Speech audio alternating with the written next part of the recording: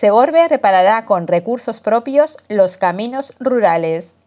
El Ayuntamiento de Segorbe solicitó una ayuda a la Consellería de Agricultura, Desarrollo Rural, Emergencia Climática y Transición Ecológica de la Generalitat Valenciana para el acondicionamiento de caminos rurales, que no ha sido concedida, por lo que el consistorio dedicará la cuantía de 12.000 euros para realizar dichos trabajos.